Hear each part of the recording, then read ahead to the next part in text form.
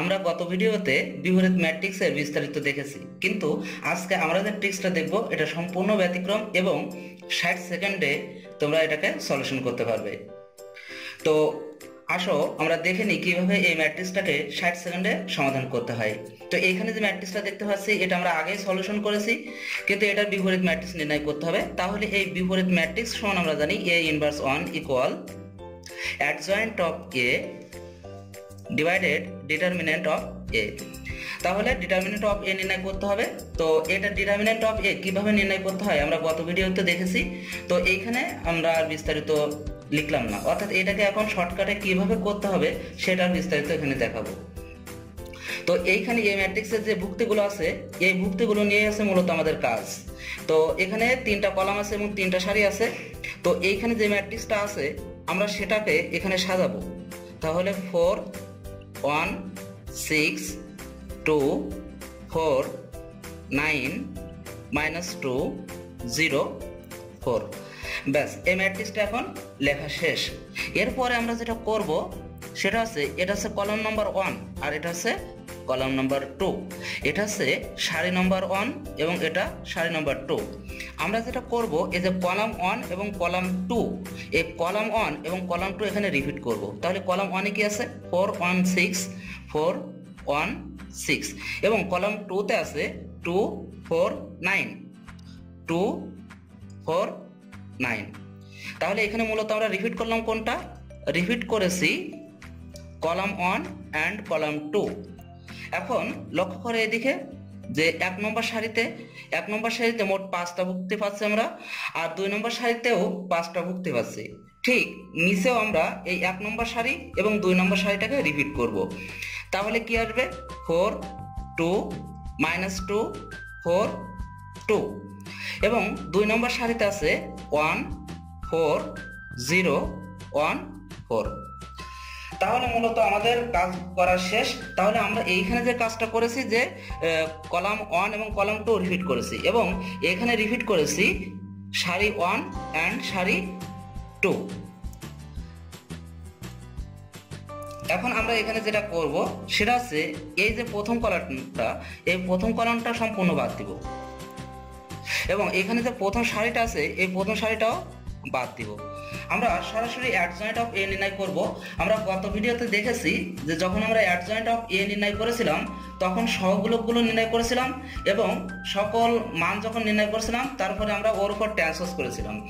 কিন্তু এখানে ট্রান্সপোজের কোনো প্রয়োগ হবে না। আমরা সরাসরি একসাথে সকল প্রশ্নের উত্তর চলে আসবে। অর্থাৎ এখানে আলাদা সহগুণগুলো আমরা বের করব না। এটার জন্য যেটা করব যে এখান থেকে লক্ষ্য করো যে আমরা নির্ণয়কের গুণ শিখেছি।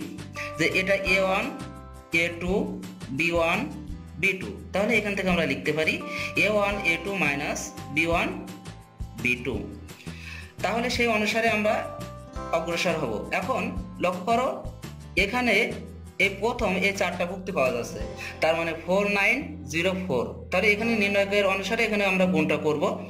তাহলে এই দিকে আমরা কলাম ওয়াইজ চলে যাব, কিন্তু এখানে সাজাও আছে রো ওয়াইজ অর্থাৎ আমরা কলাম দিকে যাব, কিন্তু এখানে সাজাও আছে সারি বরাবর।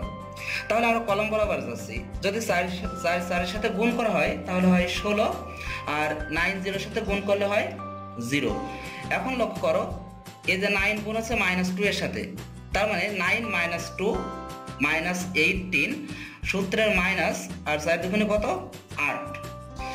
এবার লক্ষ্য করো, এখানে যে টু গুণ হচ্ছে জিরোর সাথে, তাহলে জিরো এখানে হচ্ছে মাইনাস আর সূত্রের মাইনাস হয়ে যাবে প্লাস চার দুগুণে কত? আট।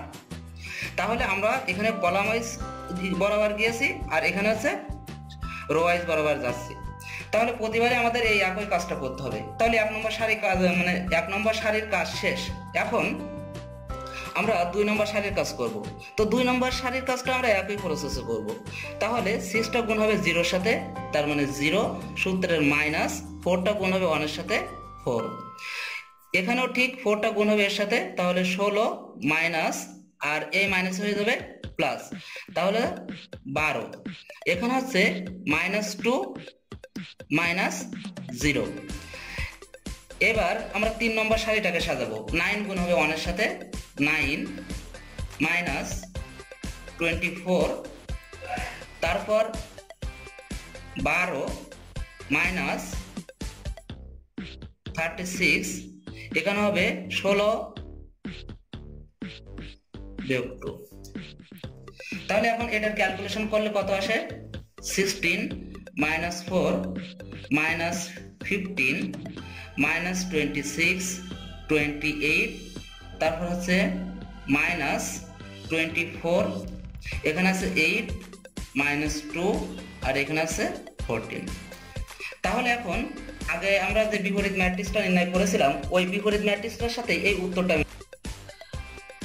তাহলে আমরা এ ইনভার্স ওয়ান সমান কি লিখতে পারতেছি? Adjoint of A divided determinant of A তাহলে one by determinant of A into adjoint of A এখন আমরা এই নির্ণায়কের মানটা কত পেয়েছি? নির্ণায়কের মানটা দেখো, এখানে এইটটি সিক্স পেয়েছি। তাহলে আমরা এখানে মানটা বসাই দেবো এইটটি সিক্স আর এখানে যে অ্যাডজয়েন্ট অফ এর মানটা পেয়েছি, সেই মানটা এখানে বসাই দেবো।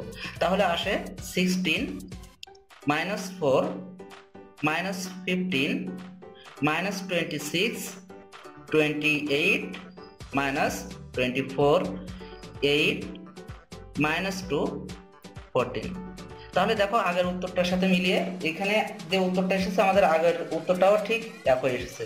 তাহলে দেখছ কত সহজ বিপরীত ম্যাট্রিক্সটা। আমরা যদি শর্টকাট করি, তাহলে এরকম সর্বোচ্চ এক থেকে দেড় মিনিটের মধ্যে আমরা এটাকে সমাধান করতে পারব।